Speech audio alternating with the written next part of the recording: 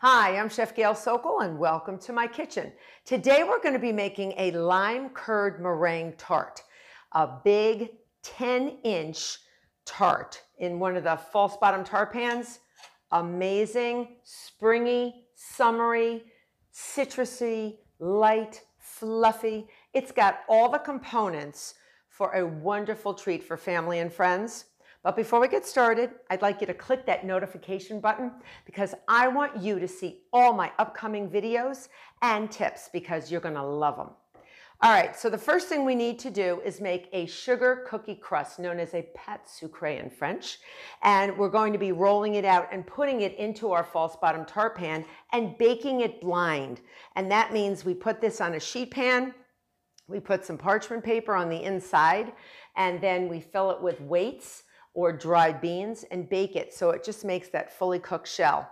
Because our lime curd is going to be made on top of the stove, poured on top, and then a luscious meringue. And then we get to blowtorch it and make it all, all sort of toasty, oasty, oasty, just sort of like a marshmallow. Perfect, perfect. All right, so an electric mixer, you're going to take one stick and five tablespoons of softened butter, and you're going to see this is very softened. You see how soft it is? It just sort of falls into the bowl, and that's exactly what I want. And then instead of granulated sugar, we're going to be using half a cup of confectioner sugar, so that's powdered sugar. And I'm going to put that right in with my butter. And this is very similar to how you would make a sugar cookie, hence the name sugar cookie dough.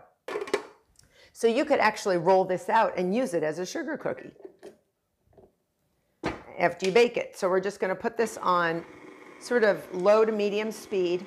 You don't want it light and fluffy. We're not trying to get any air in here. We're not trying to um, actually get it to rise. We're just trying to combine the butter and the sugar.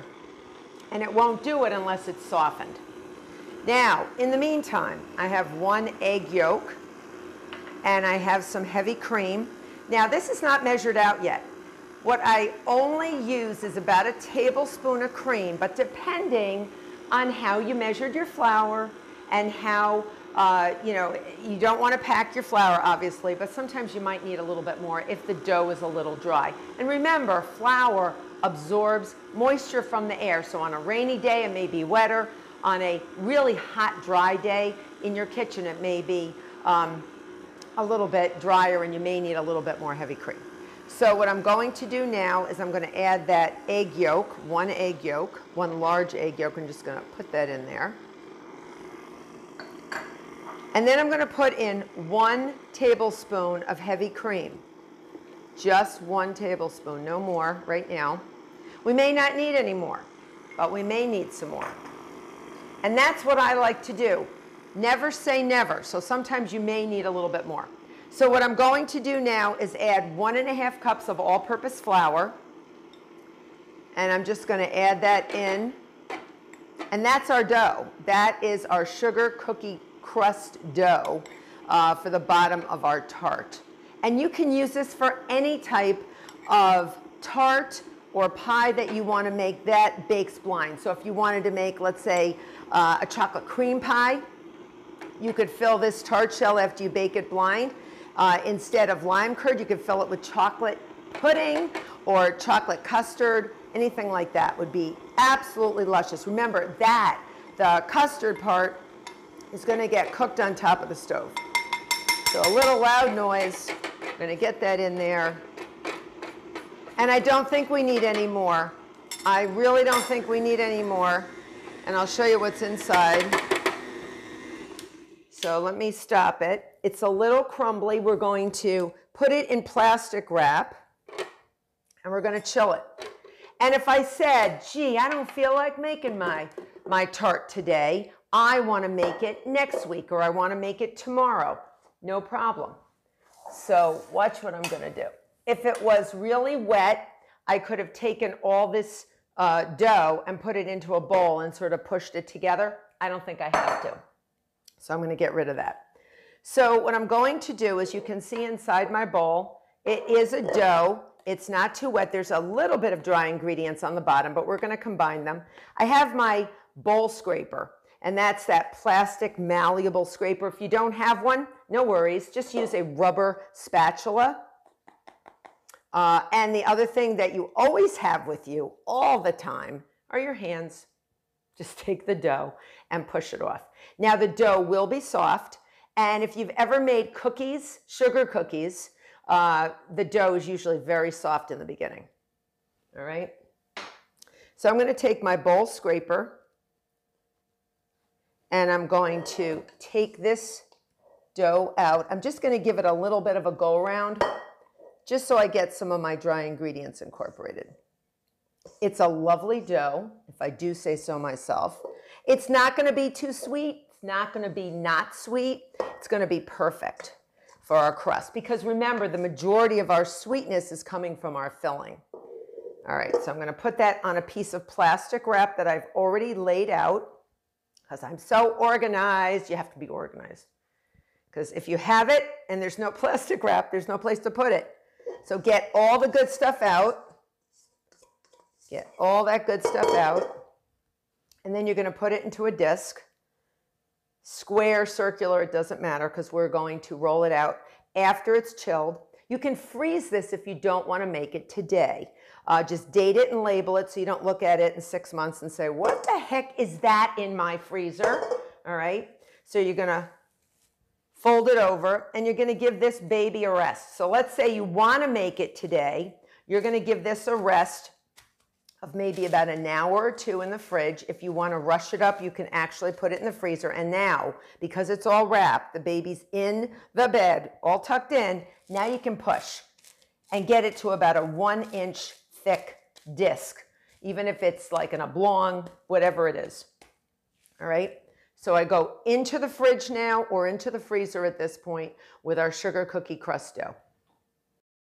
So my beautiful sugar cookie crust dough has been chilling. I took it out. I left it out for maybe half hour to an hour, depending on how cold your fridge is, because sometimes it can get really hard. So you want to make sure that you can roll it out. And don't worry if it gets a little soft. I've rolled it out to about um, a 12 to 13 inch circle. I say 12 inches on my recipe, just enough so our 10 inch false bottom tart pan gets covered on the bottom and up the sides. Now, it will break when you transfer it. Don't worry. This is not like a pâte brisée. You know, a pie crust that you might make, you know, a flaky pie crust that you might make for an apple pie or a blueberry pie. This is different. This is super tender because the butter was literally uh, surrounding um, all the flour particles. So there's no, really very little gluten. So I'm using um, my little, my giant spatula, also known as a Kuchenlöser, and you can get these online. They're fabulous. But if you don't have one, don't worry.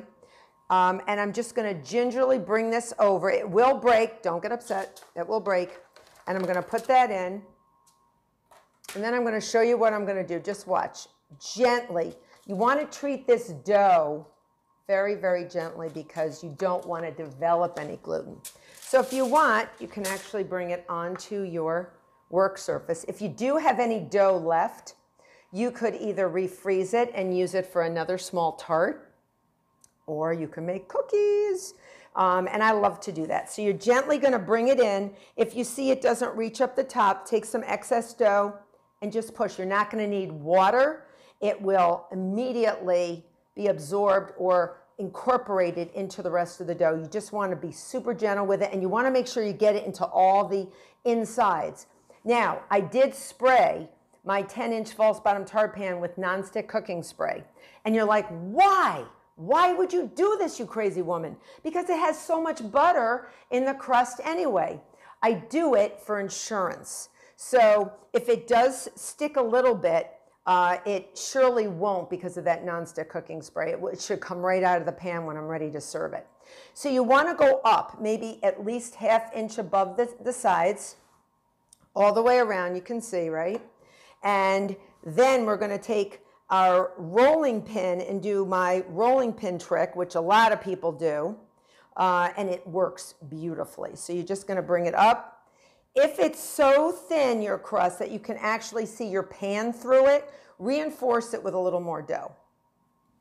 All right. And this is something, this is probably the most time consuming part of the tart because you want it to look so pretty and you want it to hold that beautiful lime curd and that glorious meringue. It's going to be glorious.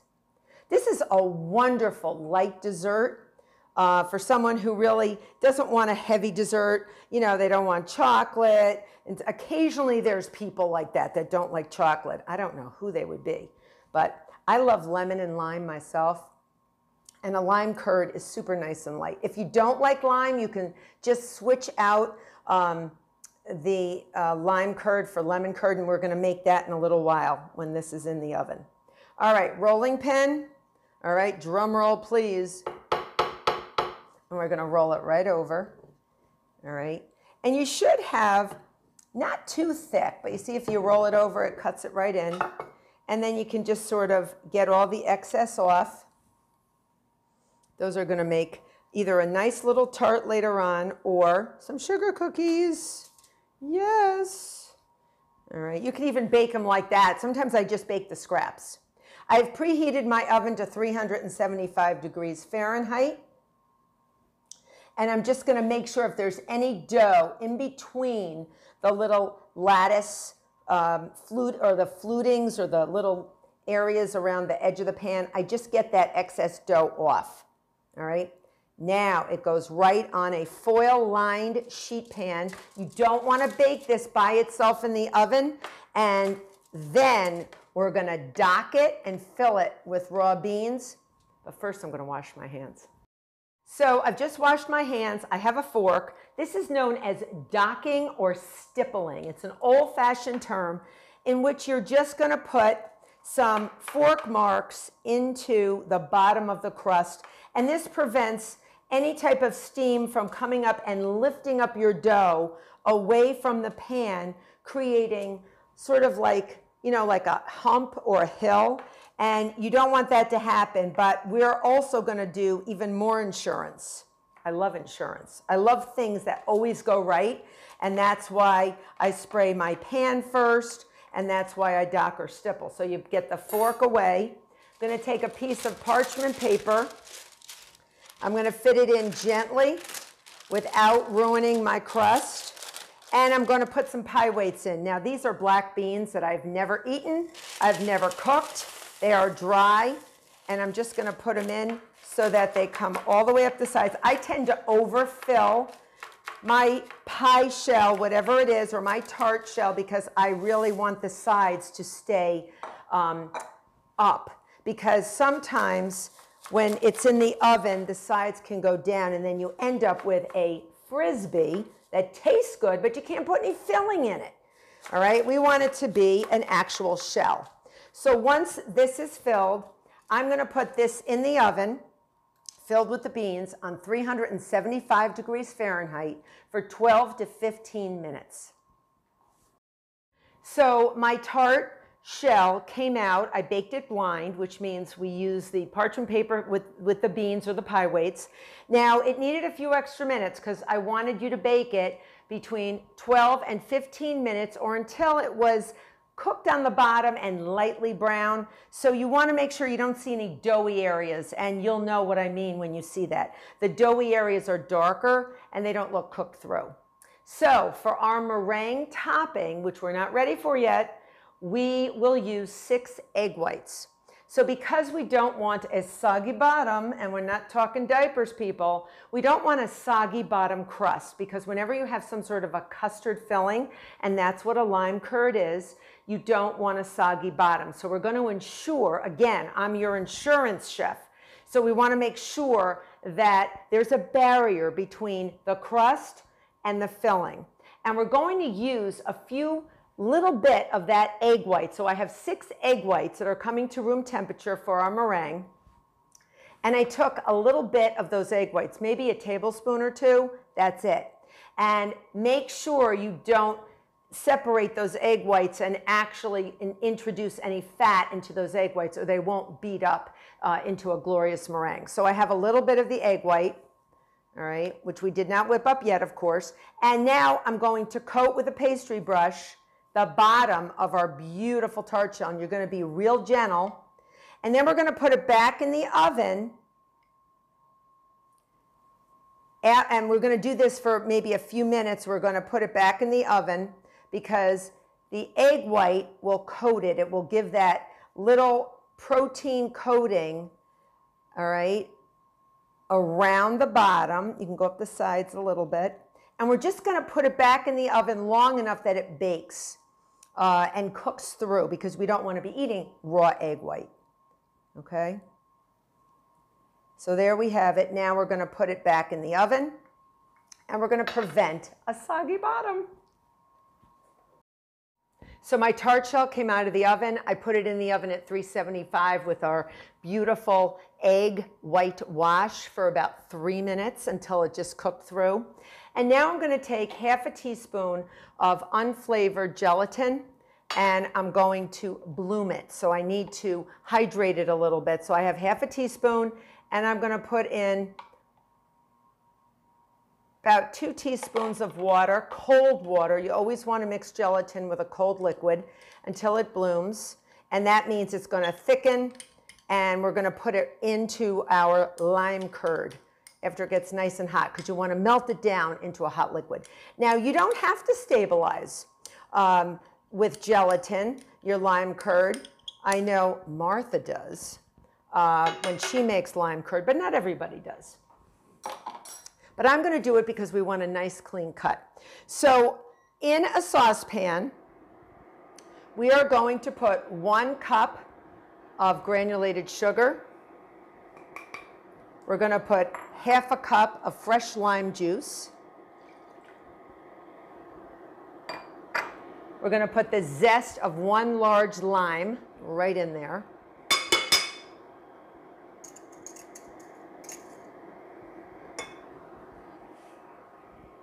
I'm going to get all this out of the way. Four large eggs, the entire egg, plus one yolk. All right, that's all going to go in here. You do not want this to boil.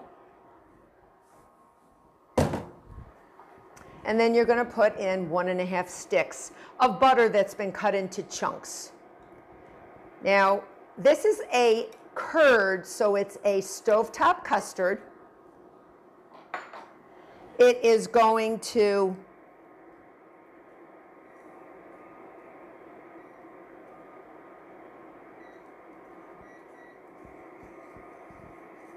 want to break up those yolks.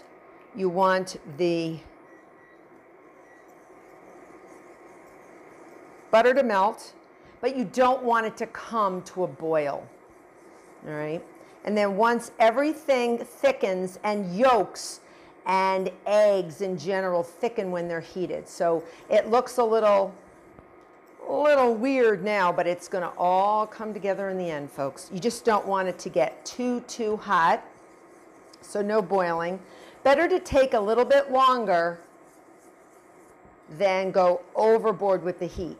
We are going to put it into an ice water bath, which I have set up on my marble slab, because that'll stop the cooking process. and that will actually uh, stop anything from curdling. And if it did curdle a little, as sometimes eggs do when they get too hot, it will catch them. And I can smell the lime. It smells just beautiful. And just get all around here. You got to be patient. You don't want to walk away. Don't answer the door. Don't, don't answer the phone. Have somebody else do it. Lime curd on the stove is for you to sort of enjoy and just stare into it and watch it thicken. And then once it thickens, we can turn down the heat and put in our gelatin because we need it to melt down. So you see the butter melted. And eventually you will see this come to a bare simmer. That means not quite a simmer but I'm being very gentle with it.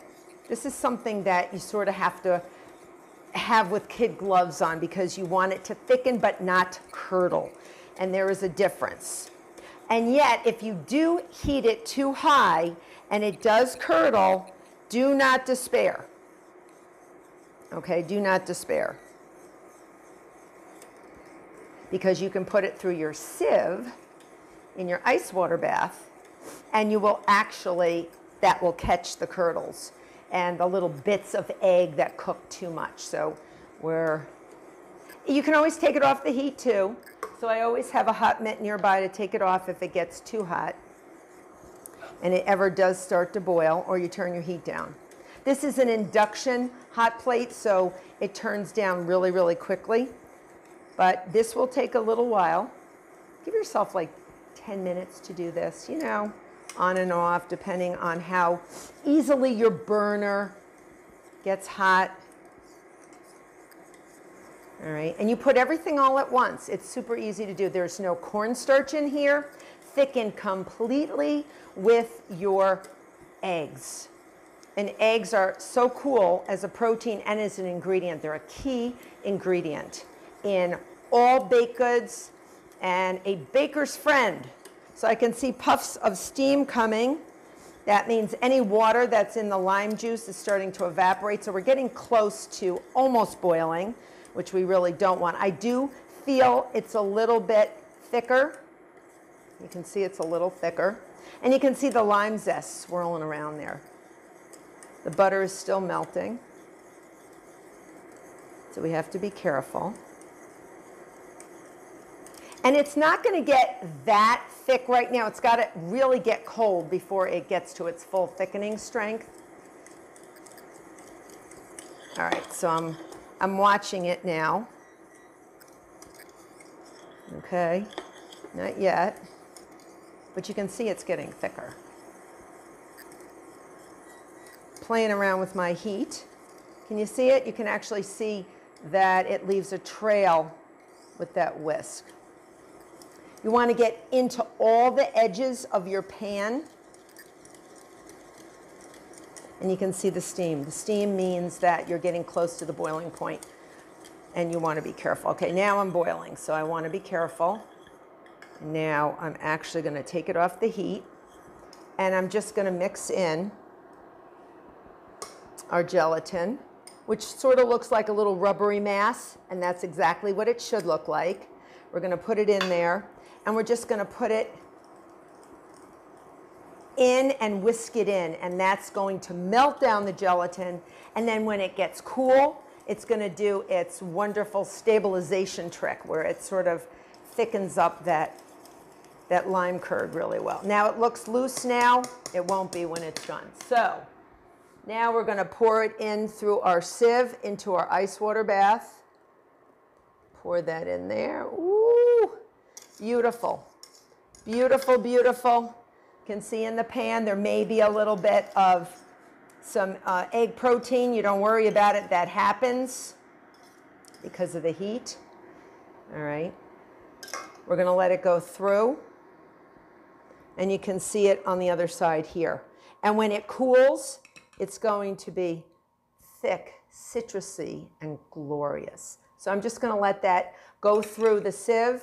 I'm going to take a spoon and stir it, and I'm going to let it cool down a bit. So my lime curd cooled in the ice water bath, stopping the cooking process. Then I poured it into my tart shell, and then I put it into the fridge on the sheet pan just to sort of spread it out and increase the surface area so the gelatin could do its work and actually uh, thicken it even faster. In my electric mixing bowl, I have six egg whites minus that itty bitty little bit that we did to create that non-soggy bottom of our tart shell, and we just brushed it, remember? And now I'm going to beat it with our whip attachment. We're gonna make our beautiful meringue, because this is really a lime curd meringue pie, and you're gonna hear a lot of noise. when it gets a little foamy, you're gonna take a teaspoon of cream of tartar. That's gonna increase the stabilization. It's not gonna increase the volume, it's gonna make it more stable. So once I get a little, a little foaminess and it comes Within a few seconds, I'm going to add my cream of tartar. And I have one cup of granulated sugar. And that is going to be used to create this beautiful, beautiful, what's known as a French meringue or a common meringue. It doesn't get any cooking, and this is what you get. So once it gets nice and soft peaks, we don't have it at the highest level yet. We're not on warp speed just yet. We're going to gradually start adding our sugar, about a tablespoon at a time. And you want to let it get incorporated before you add the next tablespoon. All right? Because we want to get stiff peaks, but if you let it go too high, too fast, you're going to end up with soap suds. Uh, egg whites that are dry, that will not look beautiful and glossy like they should. And they look gorgeous. So keep going, tablespoon at a time. I love making these meringues. Uh, I just take my six egg whites, leave them out uh, for about an hour, or you can even put it into a warm bowl of, uh, or a bowl of warm water and warm them up because the warmer egg whites are, the better they beat up. Because they have a surface tension. And if you break into that surface tension because they're warm, you'll actually get a better, more beautiful meringue. If they're cold, then the beater has to work through that surface tension that's not sort of relaxed from being out at room temperature. Now we go to warp speed. And we sort of let it go until it's really nice and stiff. In the meantime, my tart shell with the lime curd is in the fridge.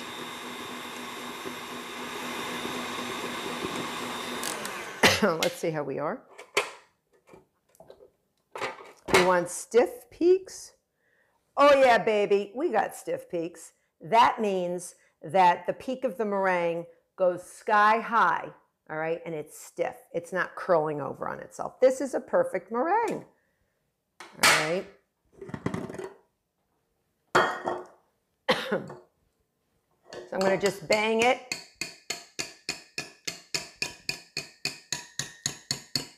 Now I get my tart. So I got my tart and it's beautiful and it's cooling down lovely in a lovely way. And look at this. Look at this. So I'm going to sort of put spoonfuls on. If you call these spoonfuls, look at this. Oh, wow. Mountains of meringue. Nothing says loving like mountains of meringue. And then I'm going to take an offset spatula we're going to make some mountains and valleys and ups and downs. Ooh, baby. What you want to do is seal it right to the tart shell. So seal it right to the tart shell. See what I'm doing? I'm going to rotate it, seal it right to the tart shell so that the meringue is sealed right on it. All right. But everyone knows when they see this what they're going to get, right? They don't know it's lime, but they do know it's going to be this beautiful meringue tart. Beautiful. And we're just going to seal it all the way around. So that means you want to make sure the meringue touches the tart shell. All right, touches the tart shell. How's that for a little, a little alliteration? All right, and then we're going to do some valleys and ups and downs, little waves, little way. We're going to make waves.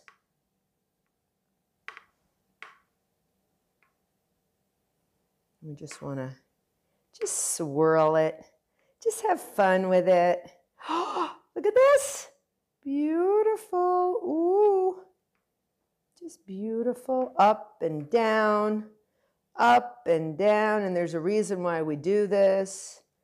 You'll see. Look at this.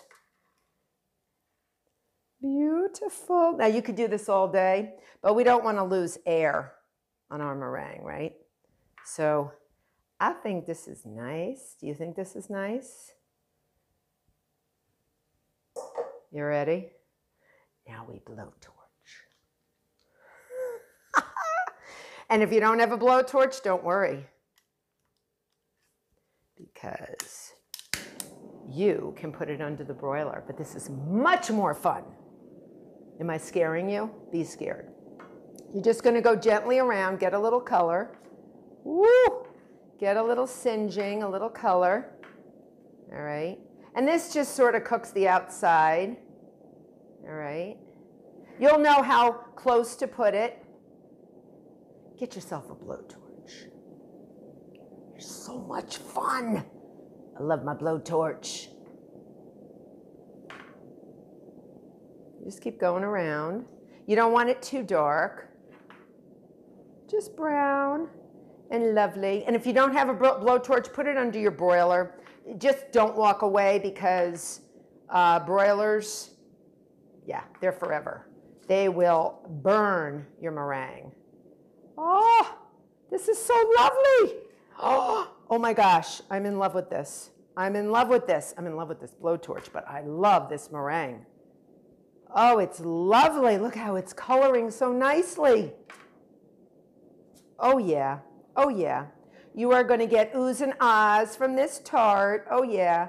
Now, what you want to do is you're going to put this whole thing in the fridge for a couple of hours. You want to try to do this right before you serve or up to a day uh, before you serve, all right? And you're going to serve it right from the fridge. Ooh, I think we're there. I think Chef Gail has to stop because I love my blowtorch.